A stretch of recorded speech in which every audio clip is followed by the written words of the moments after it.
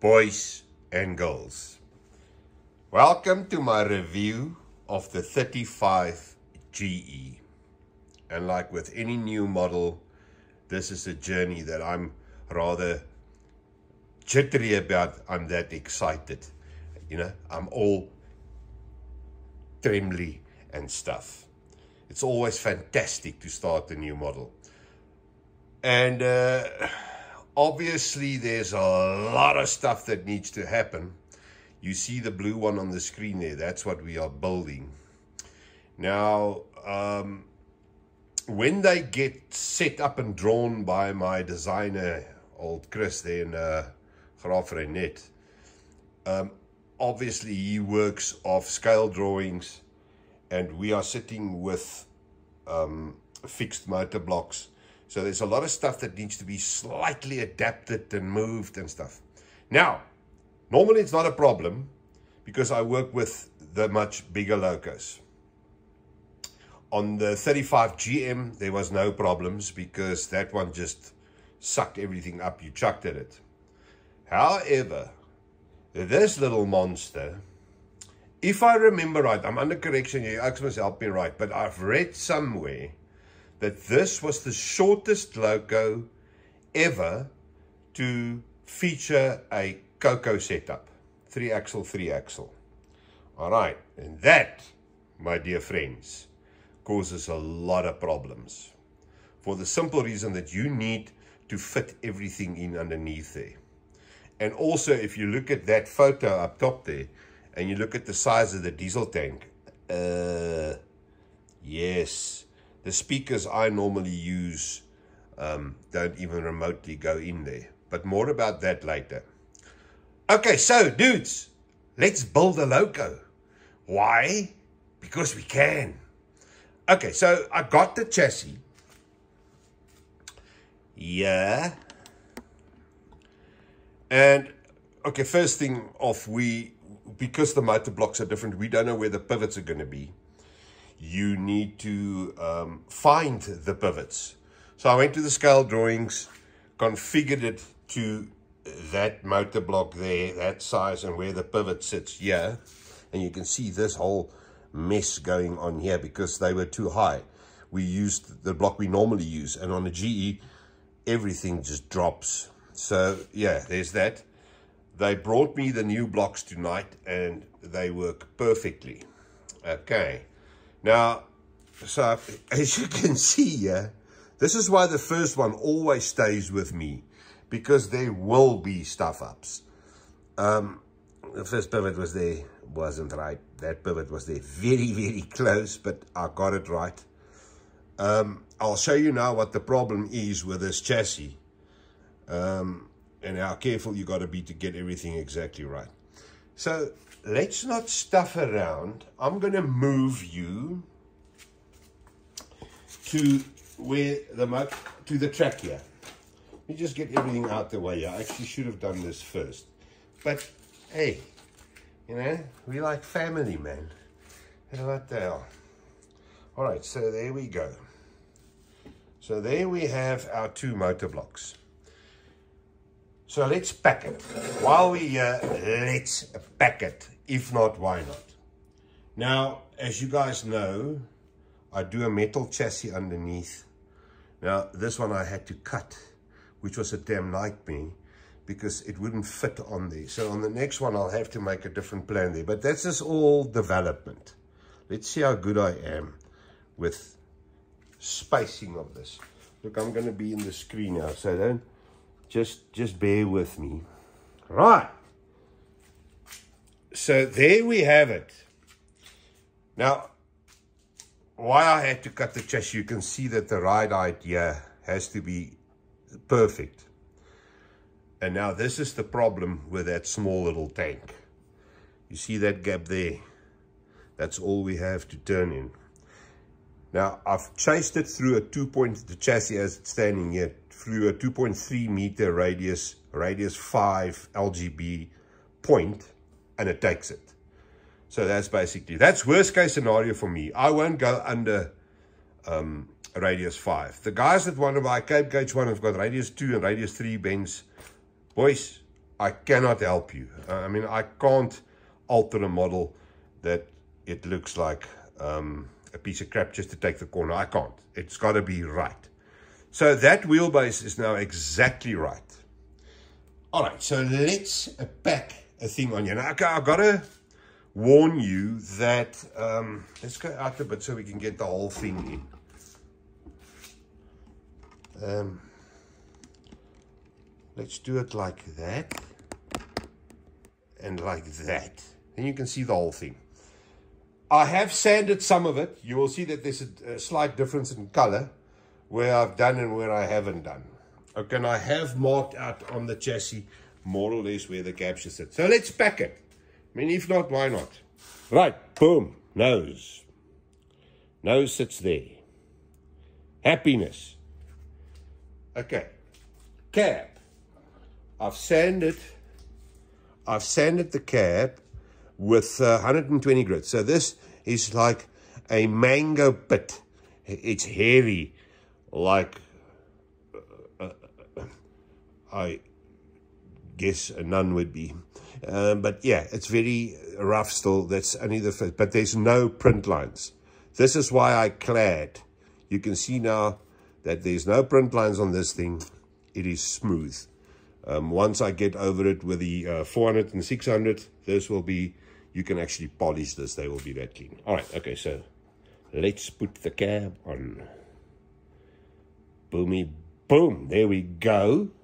There we go. Right. This I haven't sanded. Now that is still with print lines. You see there. Now this will be sanded also with a with a 120. And then you see there's nothing on it. So I can sand it nicely. And then I'll do all the add-ons later. All right. Okay, so let's put this on there. Rikus, hang on, hang on. Do it with two hands. The oaks will wait for you, man. The oaks will wait for you. Right, so there we have a cab. Boomy boom, cab with a roof. Dun, dun, dun, dun, dun. Right, first, dynamic brake. Now, this specific one is the 35000, which was the first series. And they came either like this, okay, and I will do this as an option on the model when it comes out that you can have either this, the saddle filter or no saddle filter. Then it just gets a plate up top here that we can print separately. It is on the STL. All right. But this one I'm going to build with a hood on. Look, it gets some detail there. There's a thing running through there. And there's something at the front that you can see there. That I've all got. That, that will be stuck on later. Right, so there we have it. We're at the uh, dynamic brake. Now the arse end of the thing is this here, which is, thank God, it was printed in one piece. I have to suckle the stuff. Stuff. Stuff. stupid language. And this is the end. Now this is also resin. You can see the nice detail on it and that there's very, very little work to be done on it. So this is just goes into my ultrasonic bath and I clean it nicely and wherever I need to, I just sand it quickly and boomy boom. Okay, so, right. That goes at the back there. Cool. Okay, and there, my dear friends, we have a loco. Right. Now, okay, as you can see, I want to weather this one. I'm going to do the same blue as the other one. So I want to weather it like the picture showed us. So the battery boxes comes there, there somewhere, like that. All right. And that is basically that. There we have a loco. Now, normally what determines if a model is going to be brilliant or mediocre is the the the detail on the doors. That's very important. Um, I will get to that now. First things first. Now you ook see that diesel tank there. Now if you look at the Rooimuur over there, and that diesel tank, in there I've got a 80 mil 35 watt FRS8 Visaton. I don't use anything else than Visaton. They're absolutely brutal speakers. And uh, we have this little tank. So what the hell do you put in there? So, I bought a couple of these. This, as you can see, is a FRS 58.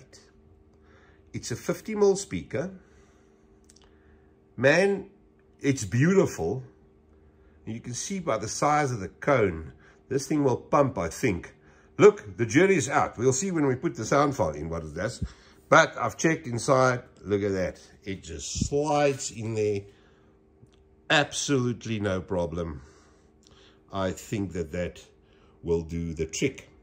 If it doesn't, we put another bloody one inside. And then that'd be the end of that. Okay, now, the most important thing. Like I said, what makes a good model is all the detail that has to be stuck on there now. Now I want to show you something. This is the cladding that goes over the body. Now this one here, you see there where the rivets, resin goes into the bath, not a single mark on it. That goes over the back there now, right? So we work from there to the front. I'm not too sure how it goes in there, but there's some very, very pretty doors here. Now this one, I think, sits somewhere there sideways. Look at the detail on that. Pretty, eh? Very, very pretty. Okay. And this is a normal door. Now, what I want to show you is, have a very good look at the door handle. You see the door handles in there. Hey, hey, hey, hey. That's why we print these things in resin. Because in no filament are you going to get that sort of detail. Uh, where is it focusing? There. You can see, pretty. Very, very pretty. And then there's a couple of other ones. Um, you know, when I still build these things by hands, I think the most difficult thing on earth to build like press formed vents. Here you can suckle. With that stuff, you can suckle the whole day. Um, so there, with printing, boom, very easy. Right, so that's a door that comes somewhere. I have, I think this might be the one at the front here, somewhere there. It'll sit there, yeah. And then you have these also with a long, long row of vents. That one I know goes there. Okay. I haven't got the top one. She's still busy printing that. Um, and this one is the big one at the back there. And this is white. Comes white, y'all. So that looks like that. That sits there. And then the one with the vent, not too sure where the hell this one goes. I think that might be the first door at the back before the opening. I think that's the first door there. If if I if I look at it, I think that's the one. Not too sure. But anyway, I will sort that out. And then the rest is just all the smaller doors. Zip, zip, zip. This goes over the battery box there. Sits right there. But check how pretty the doors are. And now back at the oil filter housing by the compressor, or expressor, uh, a lot of guys make the mistake with this little baby. That thing there was never upright. It sat like that. You see, it's at an angle. Yeah, so if it sits like that, it actually goes slightly away to the top. It's not, it's not symmetrical. I hope you can see that. Wait, let me show you like that. Now that's better. See there. Doesn't sit straight, sits at an angle. So, yes, I think that's going to be very, very nice. And the rest is just more doors and cover plates and doobie doobie doobie doop.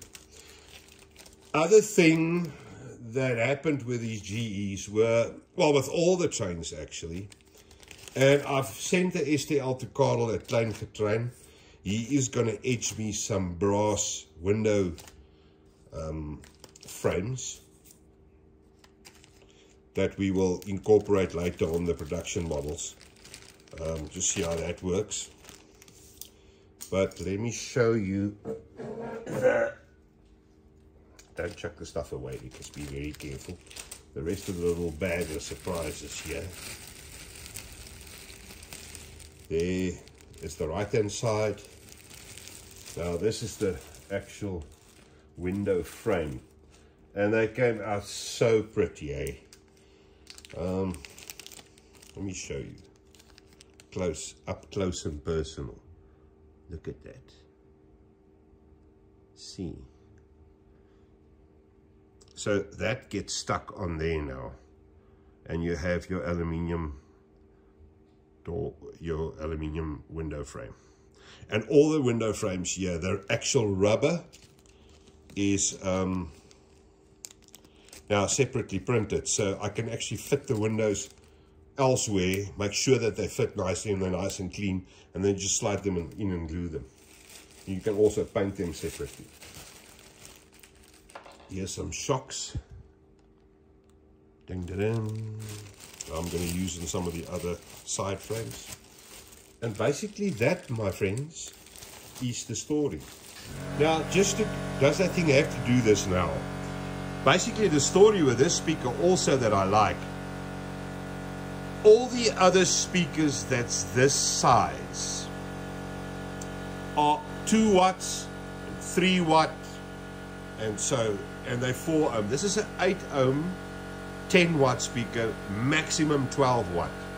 I've got a funny feeling that this thing is going to surprise us and make a hell of a racket in there. I've got a funny feeling. So, yes, dudes, there we have a train. Obviously now I'll need to do all the plumbing and stuff underneath. The new um, vacuum hoses came, it's also in here. Uh, because this is a solid one-piece vacuum hose. All right, remember I showed you the other night on the 34? There's actually my 34's little insert on the side, side of the cab. Um, I must just remember it's there. Boomy boom. Then we'll just dress her up. What is specifically nice, let me take you out here, that I absolutely love about this train, is the is the the pilot. Hey? Check how nice that pilot is, that Chuck the one. Such a nice pilot. And check how nice and low it is. It's perfect, man. Absolutely perfect. That's a very nice pilot. So, there is our train. Little, little, I, I call it picky. It's a picky. So once the air horns and all the stuff's on and the top doors, it's got the um, hinges and stuff. I think this will be a very, very pretty little train. And from experience, I know with a short wheelbase like that, man, oh man, it's gonna pull. I know it will pull. And there's enough space because of the big overhangs for nicely doing the couplers, doing the sandpipes. Eh. There we go. Pretty, eh?